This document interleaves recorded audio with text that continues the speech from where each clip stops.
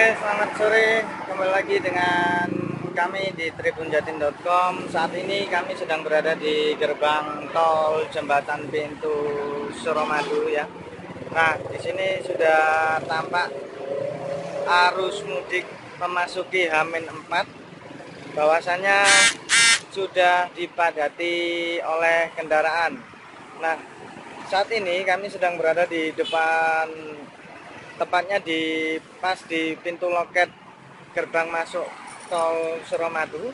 Nah, di sini tampak dari kejauhan kami mengambil dari jarak aman bahwasanya sudah ada kepadatan kendaraan yang didominasi oleh kendaraan roda 4 masuk ke tol menuju ke Pulau Madura. Nah, di sini kami berada di samping di samping gerbang masuk roda 2 bahwasannya di roda 2 sendiri terpantau lancar dan tidak ada penumpukan kendaraan karena diketahui di gerbang motor sendiri tidak memakai atau tidak diharuskan membayar. Namun untuk roda 4 di sini diberlaku sudah diberlakukan non tunai. Jadi untuk para uh, pemirsa yang ingin mudik di Pulau Madura untuk masuk di uh, jembatan Suramadu ini harus menyediakan kartu kredit atau non tunai. Jadi di sini tidak melayani tunai langsung. Nah, kita akan mendekati di lokasi roda 4 kendaraan roda 4 bahasan di sini sudah mulai padat ya.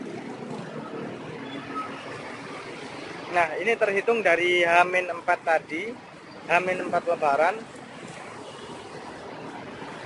Dan menurut uh, info yang sudah didapat oleh Tribun Jatim, bahasanya bahwasannya kenaikan ini karena faktor di samping Hamin 4 Lebaran tapi juga karena malam dua ada peringatan malam 27 ya. Tahu ada peringatan khusus malam 27 nah di sini saya akan mendekati lokasi gerbang roda 4 pintu masuk tol jembatan Suramadu. Ini saya dari arah Surabaya ke Madura. Nah ini didominasi oleh kendaraan roda 4 dan kendaraan lebih baik bus maupun mobil pribadi.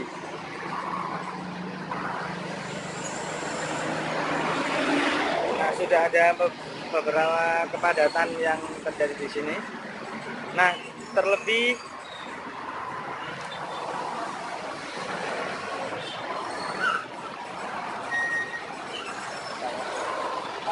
dari mana? Kami dari Tribun. Pak, uh, untuk pantauan saat ini sudah ada berapa kendaraan yang sudah masuk ini Pak? Oh, tahu. Oh, Oh, siap, siap. Oke. Nah, di sini meningkat. Sudah, sudah sudah meningkat ya Pak ya? Oke, oke.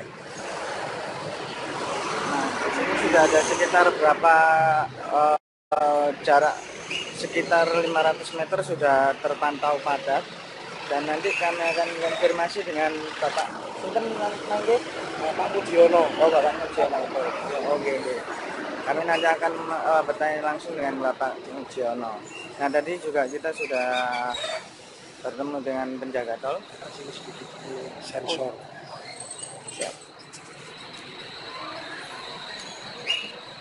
nah jadi sudah ada uh, sekitar jarak 500 meter dari gerbang tol ini sudah dipadati oleh kendaraan roda empat. Seperti ada sini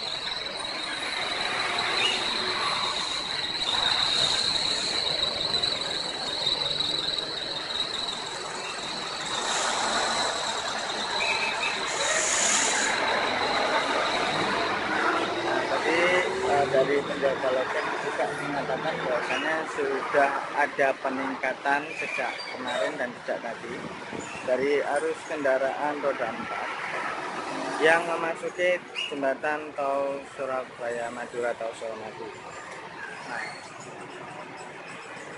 Jadi himbauan untuk memasuki wilayah ini ini sudah berlaku non tunai ya Pak ya?